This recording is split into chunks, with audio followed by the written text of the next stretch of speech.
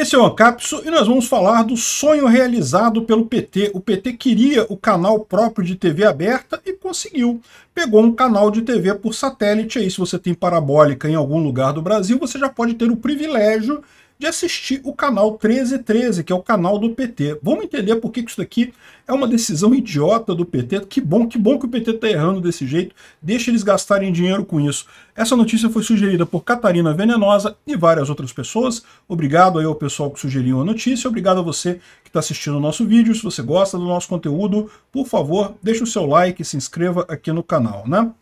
Pois bem, o PT lançou o canal de TV aberta. Eles estavam querendo isso, eles queriam um canal de TV aberta, inclusive na televisão tradicional aí, os canais baixos e coisa e tal, queriam, entraram com um pedido no, no Ministério da Comunicação e coisa e tal, mas no final descobriram que já tinha um canal para alugar por aí, o pessoal já tinha um canal que não estava sendo usado, o canal que eles deram o nome de 1313, eu acho que a numeração meio que não importa, eles escolhem lá a frequência no final das contas, então eles batizaram o canal de PTSAT, e pode ser sintonizado por parabólicas no número 1313. O PT vai pagar um aluguel de 35 mil mensais para a, a, a empresa que hoje é dona desse canal, né? E vai usar o canal e coisa e tal. Então pronto, o PT queria isso, conseguiu. Eu só acho isso aqui uma besteira enorme, tá mais do que na hora de acabar com isso. Hoje em dia não faz diferença nenhuma. A internet muito melhor para ver a informação. O PT podia criar um canal no YouTube e pronto, muito mais prático, muito mais fácil. Todo mundo tem celular hoje em dia, celular chega em todos os cantos do Brasil. Ah, ah, não, mas aqui o pessoal pobre não tem celular e coisa. Não tem, hoje em dia todo mundo tem celular, cara. Celular é daquelas coisas que o capitalismo traz. O que o capitalismo traz, todo mundo tem. Os pobres têm, os ricos têm, todo mundo tem celular. O, o que os pobres não têm são as coisas prometidas pelo socialismo, né? Que é educação para todos, é, saúde para todos, né? Isso não tem. É, o, o socialismo falha em todas as promessas dele. O capitalismo não. O capitalismo entrega. Ah, entrega perfeito? Não entrega, mas entrega. Você pode ver que sempre melhorando, né? Celular bom com internet era uma coisa rara, coisa de 10 anos atrás. Hoje em dia, todo mundo tem, muito fácil, né? Smartphone também virou normal, todo mundo tem smartphone por aí. Enfim, uh, uh, estão falando aqui que, olha só, as redes sociais são fundamentais, mas normalmente não permitem o aprofundamento do debate político. Repara, por quê? Porque na rede social efetivamente há debate político. As pessoas contradizem. Quando o PT fala uma coisa na rede social, as pessoas rebatem o que o PT fala, né? Aqui, ó. Pelo contrário, se beneficia da confusão em torno do assunto. Então eles querem um canal em que eles falem e a pessoa fique quieta e não possa discutir, não possa responder, não possa argumentar, não possa pegar eles na mentira. É, é, isso que o PT é.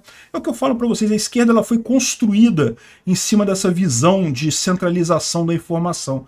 Agora que a informação descentralizada é que domina, a esquerda não tem força, ela não consegue. Olha que, o quão patético que é o pessoal dizer que prefere a televisão à rede social, porque ah, na televisão você tem um debate, o aprofundamento do debate político. Não, na televisão você não tem debate político. As pessoas assistem o que você está falando e não podem falar nada de volta. Não tem debate nenhum ali. Só tem vocês fazendo propaganda. É, é o que a esquerda sempre foi. Nunca teve debate político. Experimenta falar com o seu professor que gosta de pensamento crítico, tentar criticar o pensamento dele. Não, não pode. Não. Pensamento crítico é criticar o capitalismo, as grandes empresas e não sei o que. Ela não pode criticar o próprio professor, não. Aí é errado. Aí não pode, né? É, é, o que eu falo, a esquerda ela não é, ela é avessa ao debate. Por quê? Porque ela perde, ela não tem argumentos. O que ela tem é um conjunto enorme de frases de efeito e jargões que já estão ultrapassados há anos e anos. Eram coisas que eram consideradas até importantes há, sei lá, 200 anos atrás, 150 anos atrás, mas que já foram superadas, você já tem informações de que eram erros, a, a, toda a teoria de mais-valia do Karl Marx, em algum momento no passado, foi considerado científico, foi considerado algo que era o topo, o topo da ciência ali, da ciência econômica na época. Né? Não é mais considerado isso. Né? Hoje em dia, os marginalistas ganharam essa briga há muito tempo. Valor trabalho é um lixo, e sem o valor trabalho, a mais-valia não se sustenta. Não existe como você justificar a mais-valia se não tem o valor trabalho por trás. Então, uh, no final das contas, é um debate que acabou. Ninguém mais discute isso de verdade. Já tem todos os argumentos contrários a isso por aí. E, no entanto, a esquerda continua vivendo de repetir o mesmo chavão de novo. Sabe o que, que lembra isso? lembra a aristocracia europeia antes do fim do absolutismo, né? É a mesma história, é o que eu falo, a gente vive hoje num, numa sociedade em que você tem uma aristocracia socialista. É isso mesmo, são pessoas que subiram ao poder é, pregando esses chavões da esquerda, esse negócio de que é o Estado que resolve as coisas, de que socialismo é bom, que temos que dar dinheiro para o pobre, não sei o que lá e coisa e tal, que o Estado protege, que CLT é uma coisa bacana, que protege o direito dos trabalhadores e coisa e tal. Esse pessoal chegou ao poder com essa visão e eles querem manter essa ideia. Então eles continuam repetindo os chavões.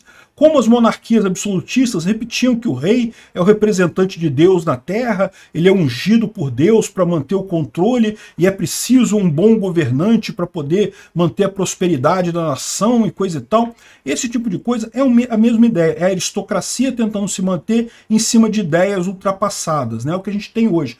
E da mesma forma que a, a, a Maria Antonieta falava para os pobres lá para comer pão se não como é que é? para comer brioche se não tem pão, sei lá qual foi a, a frase idiota que ela falou lá. O PT também fica falando essas coisas absurdas sem ter condição de argumentar. Por quê? Porque toda a base que ele é assentado já demoliu, não tem mais nada ali. Só restam os bordões abertos. E aí eles ficam tentando se apegar ao passado, né? Isso é o grande prejuízo do PT estar tá no poder hoje em dia. O PT está jogando o Brasil no passado na expectativa de conseguir recobrar a, a, força que eles tiveram uma vez por aqui, né?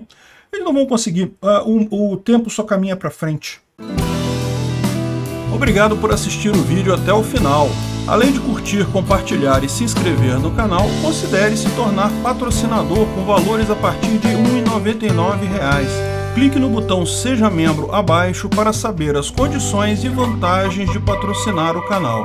Mais informações sobre o nosso projeto, visite nossos sites indicados na tela.